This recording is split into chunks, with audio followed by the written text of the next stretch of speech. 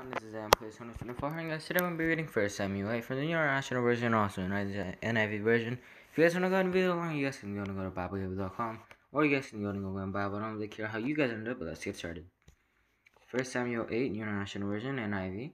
Israel asks for a king. When Samuel grew old, he appointed his sons as Israel's leaders. The name of his firstborn was Joel, and the name of his second was Abijah. And they served at Beersheba.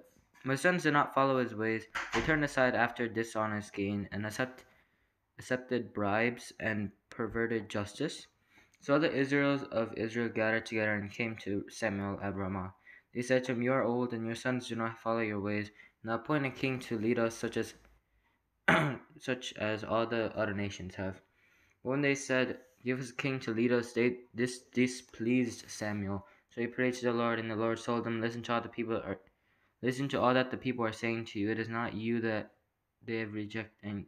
It is not you they have rejected, but they have rejected me as their king. As they have done from the day I brought them out of Egypt until this day, forsaking me and serving other gods, so they are doing to you. now listen to them, but warn them solemnly and let them know what the king who will reign over them will claim as his rights. Samuel told all the words of the Lord to the people who were asking him for a king. He said, This is what the king who will reign over you will claim as his rights.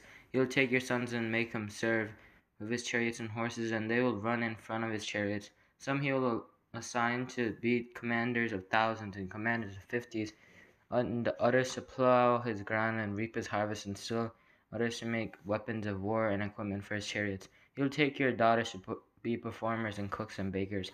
He will take the best of your fields and vineyards and olive groves and give them to his attendants. He will take a tenth of your grain and of your vintage and give it to his officials and attendants.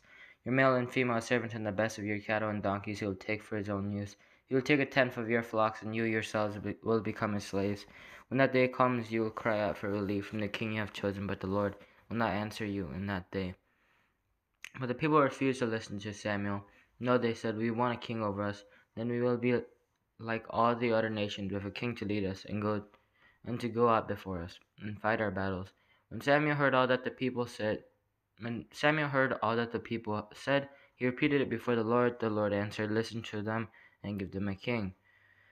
then Samuel said to the Israelites, Everyone go back to your own town. Now, as I hope that you guys enjoyed, make sure to subscribe, make sure to click that like button, make sure to click the bell to be notified when I post. And guys, yeah, I hope that you enjoyed it, I'll see you next time. Bye.